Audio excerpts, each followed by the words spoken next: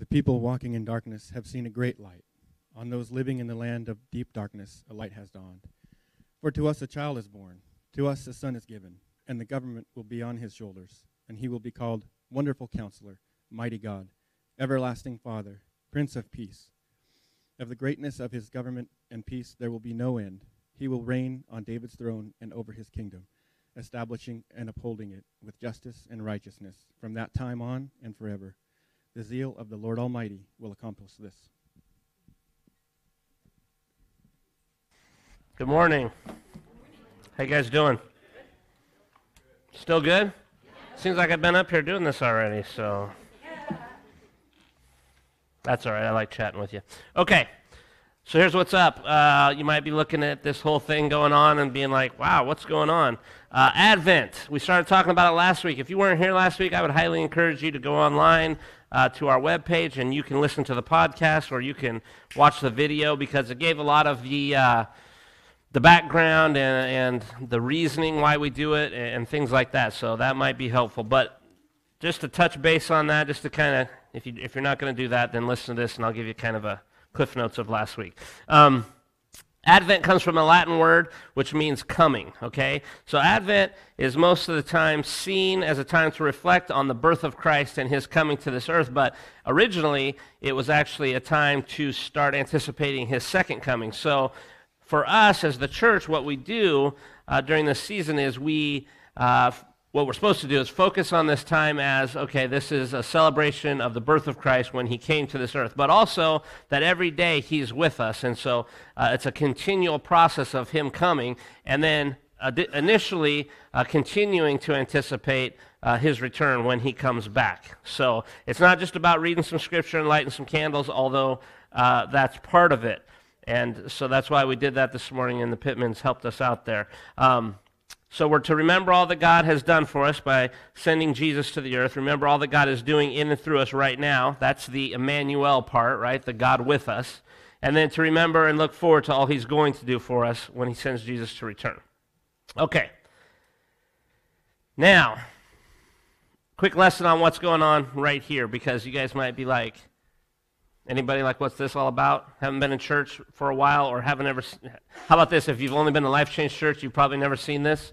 Um, okay, so the wreath and the candles are full of symbolism tied to the Christmas season. Okay, the wreath itself, which is made of various uh, plastic that look like evergreens, um, signifies continuous life. The circle of the wreath, which has no beginning or end, symbolizes the eternity of God, the immortality of the soul, and the everlasting life we find in Christ. The candles also have their own special significance. The four candles represent the four weeks of Advent, and one candle is lit each Sunday. Three of the candles are purple because the color violet is a litur- liturgical color that signifies a time of prayer, penance, and sacrifice. The pink candle is the joy candle because pink is litur- liturgical color for joy. The first candle, which is purple, symbolizes hope. It's something also called the prophecy candle in remembrance of the prophets, especially Isaiah, which was what was written, written uh, what was read from this morning, who foretold the birth of Christ. It represents the expectation felt in the anticipation of the coming Messiah. Okay? Whew.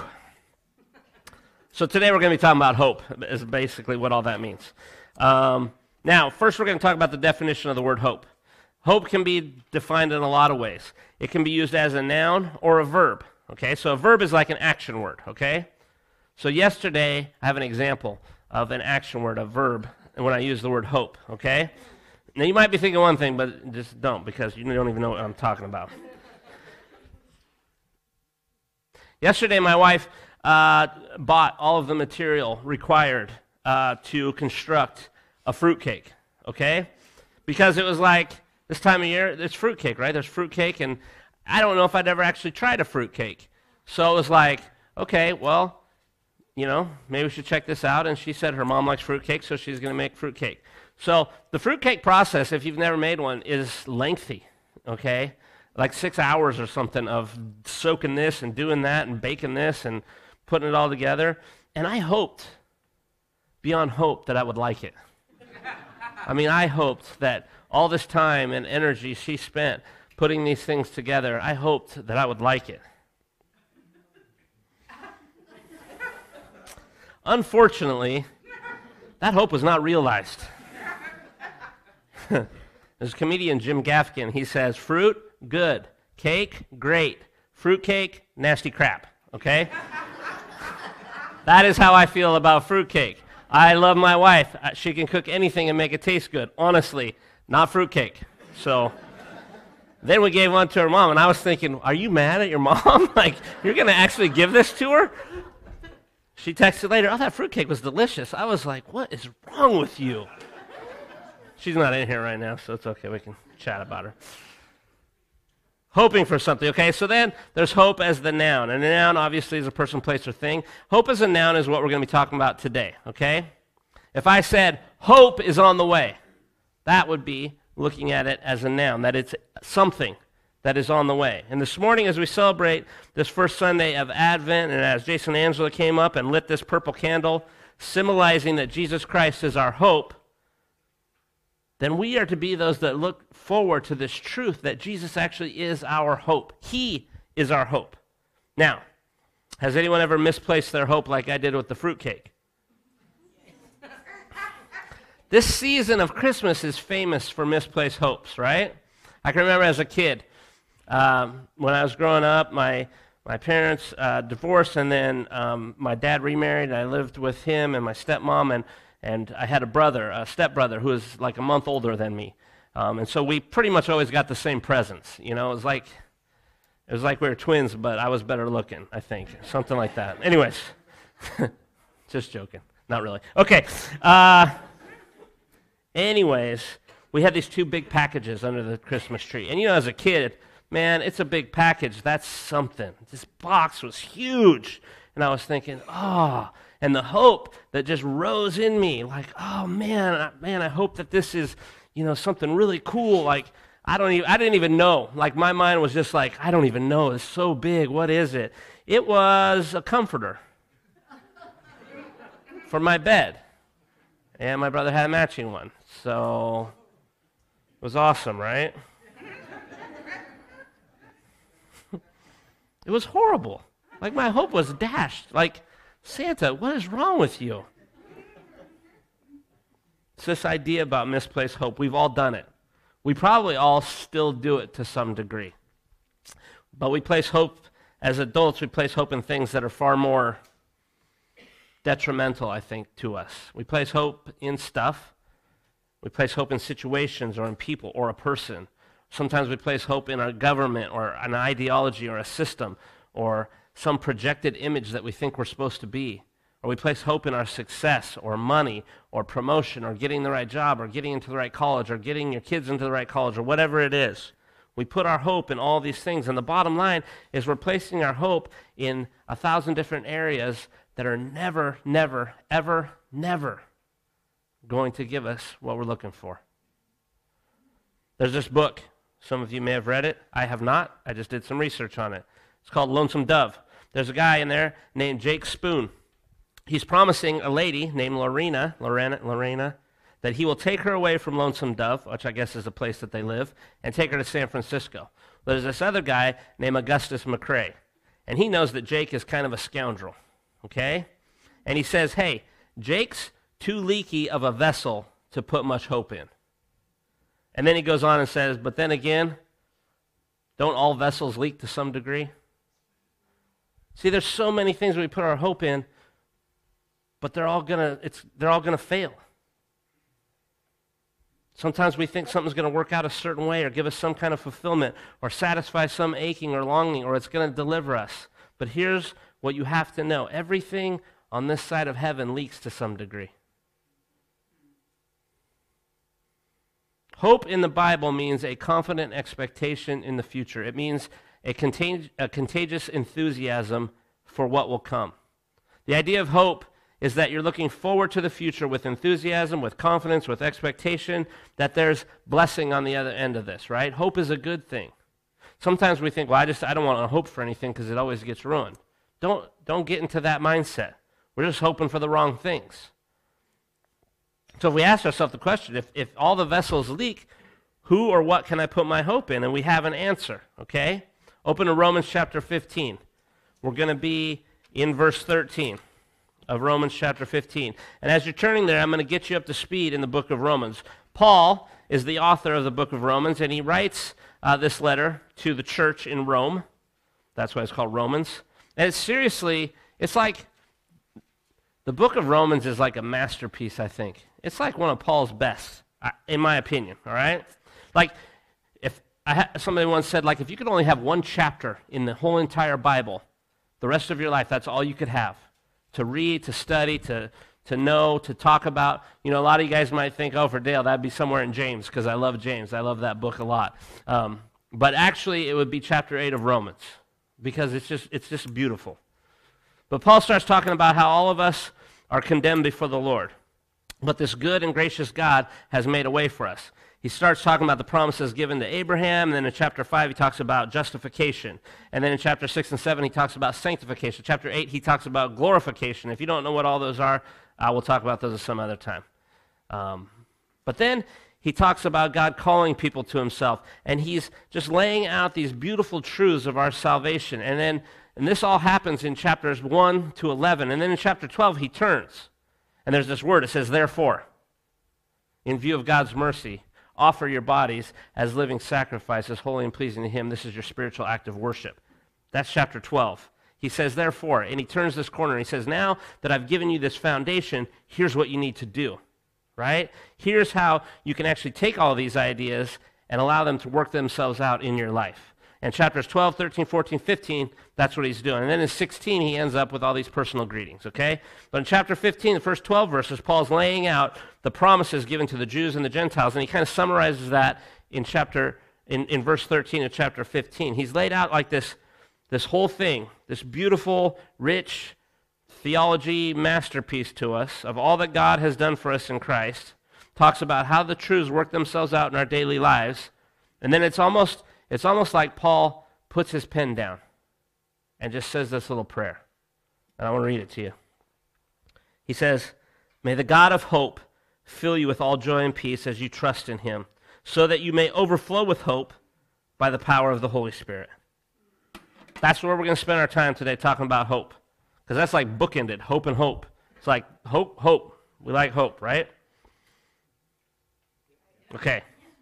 We don't like the bad hope where we just put it in stuff that's never going to satisfy.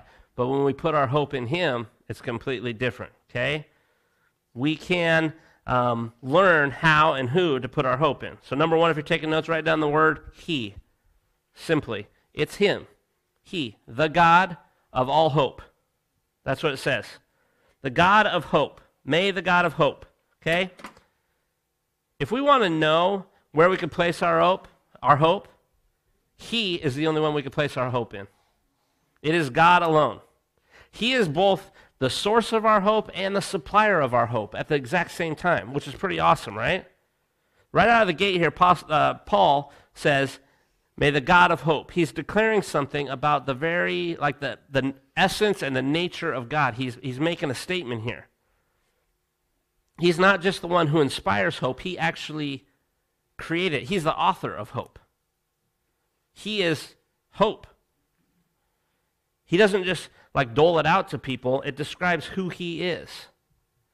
See, it's not just that God's giving hope, but it's really about his very nature and his character that he is the hope. That means hope is not based on probabilities, but it's based on promises. You guys get that? It's not based on probabilities, it's based on promises. I'll explain it to you, okay? All the hope we have, all the misplaced hopes, they're based on probabilities. It's based on this kind of uh, wish. Wish and hope that something may or may not come true. Wish and hope that this good thing will happen or this other thing won't happen.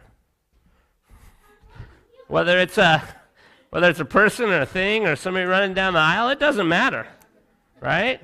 Whatever it is, you're banking your probabilities on something that's going to happen. Ah, just go with the flow around here. All right. But the God of hope, it's different. We're not banking on probabilities, we're banking on promises. Promises. Promises that God Himself has made to us. In the book of Titus, the Apostle Paul, again, writing to Titus, he says, And this is a God who cannot lie. When He promises to do these things, He will do them. the things that he has promised you, they will happen, okay? Jesus will return. It's not a probability, it's a promise. There is no condemnation in Christ. That's not a probability, that's a promise. You really are forgiven and cleansed in Christ. That's not a probability, that's a promise. You really will receive a reconciled and fully redeemed and resurrected body at some point. That's a promise. It's, it's, yeah, praise the Lord, right?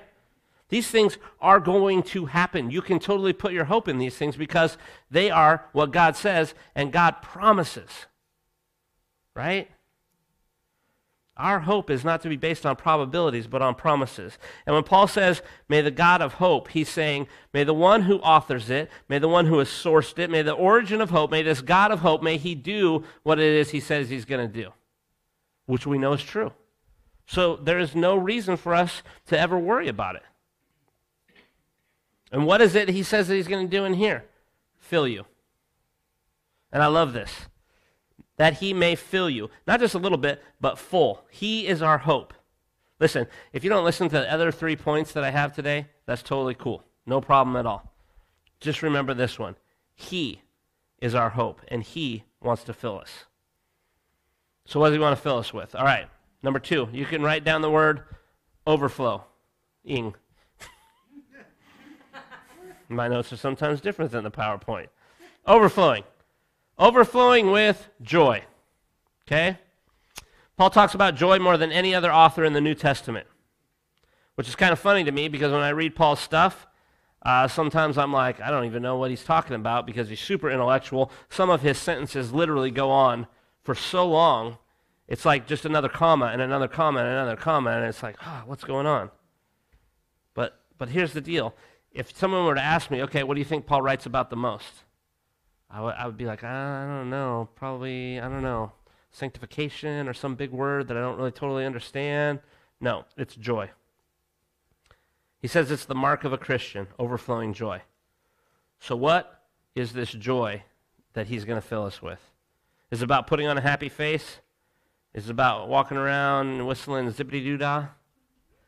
You should try to spell that because I got it in my notes, but I know it's spelled wrong. It's about never getting bummed out or depressed or worried or any of that, mad. See, when Paul talks about joy, he's talking about this inward satisfaction of the soul. All right? He's not talking about a bubbly personality type. He's not talking about, you know, I don't know. You guys know those people that are just like always cheery? Is that what he's talking about? I mean, they could be filled with joy. I'm not saying that they're not. I'm just saying that's not what he's talking about. He's talking about this inward, this this uh, inward satisfaction of the soul that wells up at, uh, with the delight in knowing who God is and that He fills us, right? Like this, this satisfaction that no matter what's going on on the outside, I'm His son, or you're His daughter. You're His daughter or son. That, that the God of the universe, that's my dad. That's my father, and He loves me. it's, it's a lot different than it's a lot different than the realities that most of us deal with, okay? When we tap into it, it gives us the ability to walk through situations that are not great in a way where we stay, t- stay tuned in to the one we find our joy in. You guys get it? Think about it. Paul is writing like crazy about all this joy, yet he goes through some of the worst circumstances. Like in his, I mean, some of the stuff, just listen to this. This is in Second Corinthians, and he's writing to the Corinthians, and he's writing, um, he's writing about his, his sufferings because he's trying to show people who Jesus is. And just listen to this right here. He says, Are they Hebrews? So am I. Are they Israelites? So am I. Are they Abraham's descendants? So am I. Are they servants of Christ? I'm not out of my mind to talk like this. I am more. I have worked much harder, been in prison more frequently, been flogged more severely, and been exposed to death again and again. Five times I received from the Jews 40 lashes minus one. Three times I was beaten with rods. Once I was pelted with stones. Three times I was shipwrecked. I spent a night and a day in the open sea. I have been constantly on the move. I have been in danger from rivers, in danger from bandits in danger from my fellow Jews, in danger from the Gentiles, in danger in the city, in danger in the country, in danger at sea, in danger from false believers. I have labored and toiled and have often gone without sleep. I have known hunger and thirst and have often gone without food. I have been cold and naked. Besides everything else, I face the daily pressure of my concern for all the churches. Who is weak and I do not feel weak? Who is led into sin and I do not inwardly burn? I mean, come on. That's a lot, right? But then, even if you look at Jesus, right? Talk about joy. It said the Bible says that it was for the joy set before him that he endured the cross. Think of that. Think of Jesus enduring the cross because of the joy set before him. There's nothing good and happy and bubbly about those situations at all, but they overflowed with joy. They had this inward satisfaction of the soul that they served this God of hope, that they knew where their hope lied. So let us be those who overflow with joy no matter what the circumstances going on around us, or even maybe what's going on up here. Don't let those things dictate, right? That's harder. To, okay, listen, I'm going to stand up here and tell you that. I'm also going to tell you right now, it's real easy to say. It's a lot harder to walk out. Okay, so don't get down on yourself if you're like, oh man, I stink at that. So do I.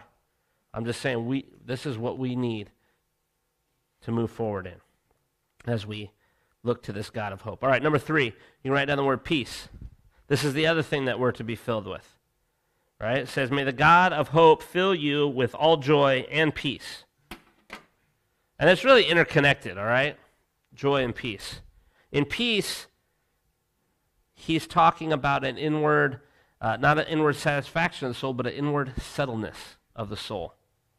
Okay? There's a rest and contentment and ease that comes through the Holy Spirit when we, put our, when, when we are tuned in and being filled by the God of hope. Charles Spurgeon says this um, Peace is resting joy, joy is dancing peace. Joy cries Hosanna before the well beloved, but peace leans her head on his bosom. We work with joy and we rest with peace. Scott Leon Morris describes the interplay between joy and peace. He says, Joy relates to the delight of anticipation in seeing one's hopes fulfilled, and peace results from the assurance that God will fulfill those hopes. Joy and peace working together. And it's important to stop at this point and remember what Paul's talking about here. He's not talking about joy and peace, again, being some kind of a personality type, right? Just as a joyful person isn't this person who's all bubbly and cheery all the time necessarily. When he's talking about peace, he's not talking about this dude that's all just like calm and cool, like, yeah, whatever, man. It's all good, you know? It's peace. I was not alive in the 60s, so that's not me, all right? He's not talking about a personality type when he's talking about being filled with all joy and peace. You guys, you guys got to know he's talking about the fruit of the Spirit. Paul's praying is that the God of hope would fill you with the evidence of the fruit of the Spirit at work in your life. You guys know what the fruit of the Spirit is? For the fruit of the Spirit is love, number one. It's a good one. Number two, joy. Number three, peace. Right? Patience, goodness, kindness. Keep going, guys. You guys are in children's church. You guys know that, right? All the little people in here like love, joy, peace, patience, kindness, goodness, faithfulness, gentleness, self control. Because they know, because they learn. Adults, Unless we change and become like children, we'll never enter the kingdom of heaven. Maybe you guys need to go over there and get some more lessons, huh? Peace. You know what peace is? Peace is the non is the normal, non-warring condition of something. Do you hear that? The normal non-warring condition of something. We look at people who have peace in the midst of a chaotic world and we think they're weird. Actually, they're normal. That's that's normal. That's the way it should be when we are dialed in to the God of hope. If you are internally or externally or both a train wreck that is in a constant state of chaos, so you're not filled with peace. That makes sense, right? Because it's this inward settledness of the soul, and it has to come out at the same time. Just as joy is going to come out, it's going to look different for everybody. For some people, joy comes out bubbly. For some people, it just comes out uh, in a different way. But it's inward settledness of the soul. This peace also comes out. No matter what's going on around you, you know that God has it under control. Let us be those who allow the God of hope to fill us with peace as well as joy. All right, number four, exude. All right? If you don't know what that is, it basically means uh, overflow. That we may overflow with hope. See, I can't use overflow because, number one, I already used overflowing, right? And secondly, then it wouldn't have spelled out hope, it would have spelled out hopo, which I don't know what that is. So we're going with exude, all right? I could have made something up, but that would have been weird, all right? Paul goes on to say, so that, okay? The turn in the prayer here is where Paul is going to outline the why behind the what, okay? This is why I'm praying that the God of hope would fill you with all joy and peace.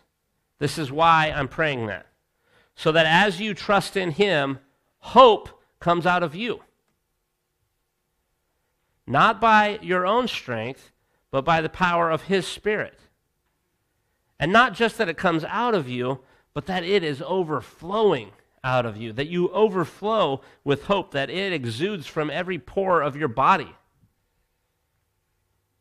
Now, what does that look like? Here's what it doesn't look like it doesn't look like working harder to try to figure out how to have hope, right? Because that's what a lot of us do. We're like, okay, now I need to figure out how to have more hope, right?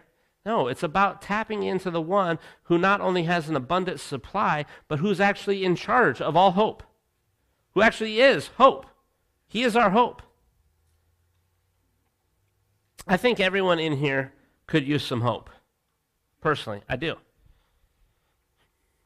I don't think there's one person on the face of the earth who doesn't need more hope because it's the God of hope that gives it. And we need more God, right? Anybody got enough God? Anybody's like, I got enough God, I'm good. You're not, I guarantee it. The good news is this God has hope for you, and not just a little bit, but tons, like infinite supply. And as we continue to look to Him and trust in Him, and as hope, hope grows in us and wells up in us and spreads in us, guess what He has? More. More and more and more. Now, if your hope is small and shriveled and barely there, he's saying, I have it. I have more, I have hope for you. Okay? He is, again, both the source and the supplier of our hope. And his supply, it's infinite, it's never ending. So when the Apostle Paul prays this prayer for his people, it's a prayer for us today as well. That the God of hope would fill us with all joy and peace as we trust in him so that we may overflow with hope by the power of his Spirit.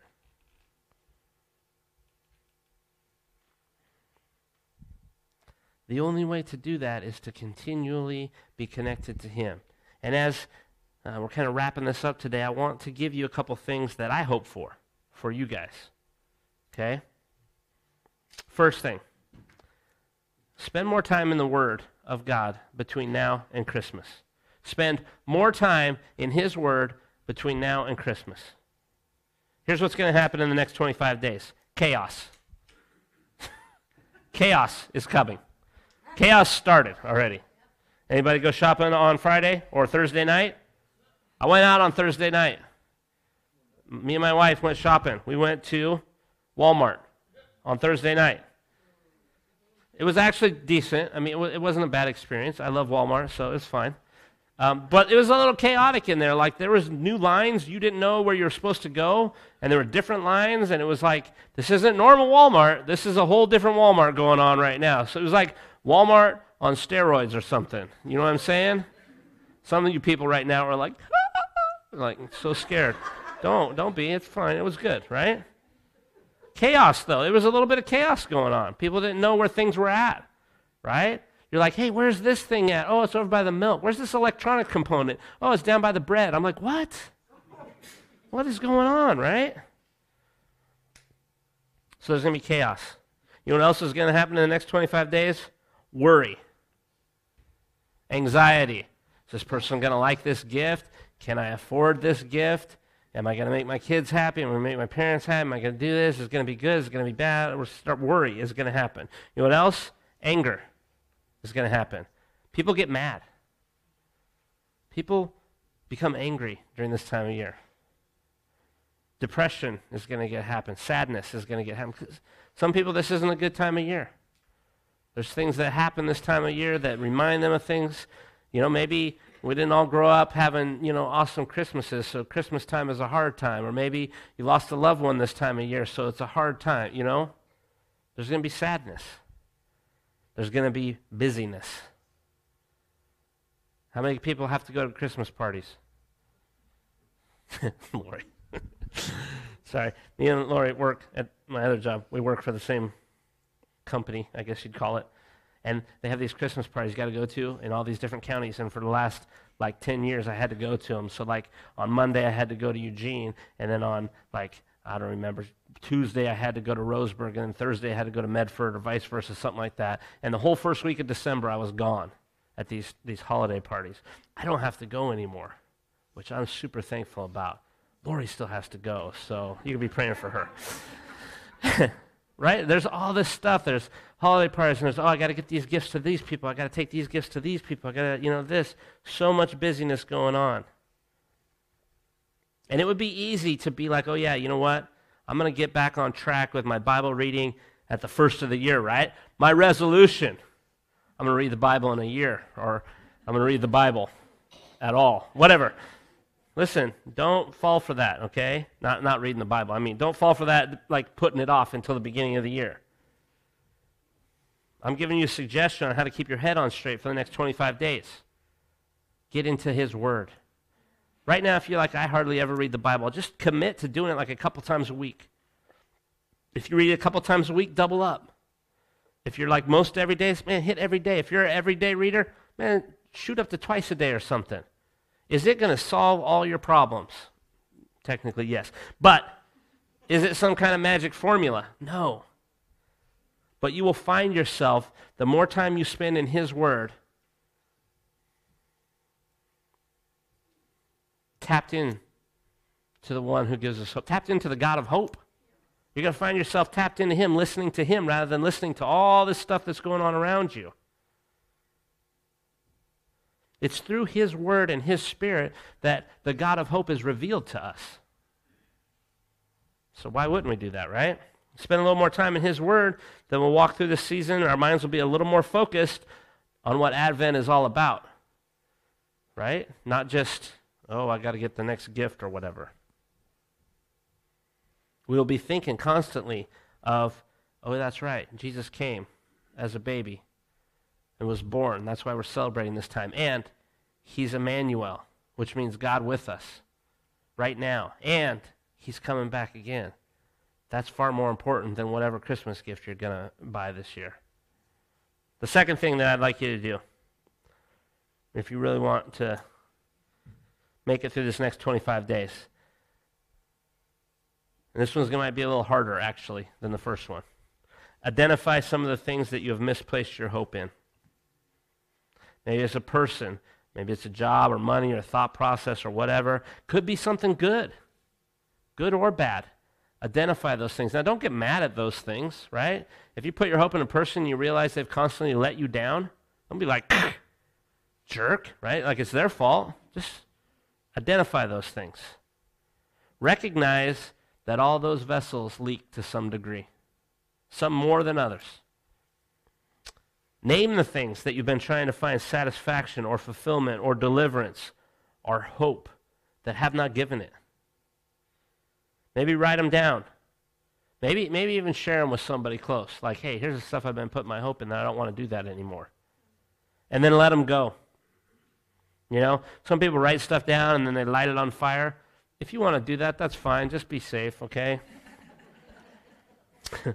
I don't want anybody like house burns down and like Pastor Dale told me to light stuff on fire. That's not what I'm saying, all right? Let them go, and instead of hoping in them, allow the God of hope to fill you with all joy and peace as you trust in Him, so that you may overflow with hope by the power of the Holy Spirit. Right? You'll find when you let go of those things that you'd hoped in, some of them will actually come to pass. Right? Maybe you hoped in this, this new job, and then you're like, okay, you know what? I'm putting my hope in the, in the God of hope. I'm not hoping in that job anymore. And then, lo and behold, you get the job. or you get the promotion, or you get the raise, or you get whatever, guess what happens then? That thing doesn't get your praise. God gets your praise because you know it's the one you put your hope in that did the thing that you wanted done. You guys get it? Which was way better. And if those don't, things don't come to pass and you don't get the job or the promotion or whatever, it's going to be okay because you're not basing your hope in those things. So therefore, you're not destroyed just because you didn't get the job. You're like, huh, I guess the God of hope has something else for me. I'll just continue to hope in him. Because God's not going to let us down. As we leave this place today, remember that Jesus is our hope. He doesn't just give it to us, He came to earth to be hope and will come back as our only hope. Right? When He comes back, that's our only hope. I want to read one more thing as we finish up today. I had to look this up. There's a song.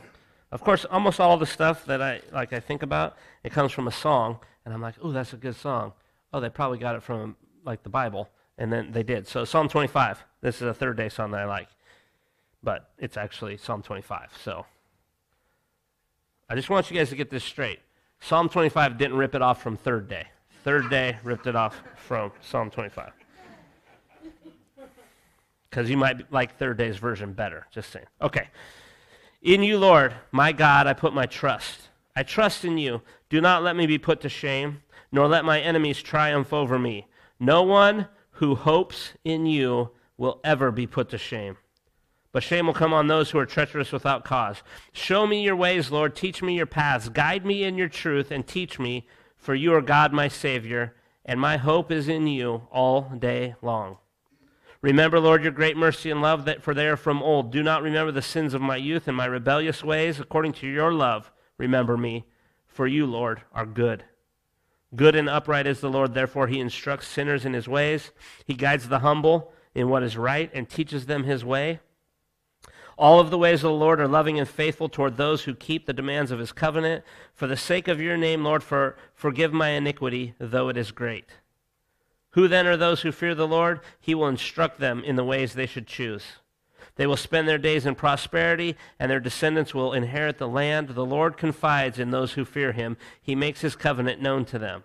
My eyes are ever on the Lord, for only he will release my feet from the snare. Turn to me and be gracious to me, for I am lonely and afflicted. Relieve the troubles of my heart and free me from my anguish. Look on my affliction and my distress and take away all my sins. See how numerous are my enemies and how fiercely they hate me. Guard my life and rescue me. Do not let me be put to shame, for I take refuge in you. May integrity and uprightness protect me, because my hope, Lord, is in you. That's Psalm 25. And that's the psalmist saying over and over again My hope is in the God of hope, because that's the only place to put it. Let's pray. Guys, we come before you today. We thank you for being our hope, Lord. Right now, I just. Um, I pray that each of us in this room would just um, lay before you the things that we have been putting our hope in, even if, especially if it's ourself. God, that we would lay that before you and we would say, these things leak.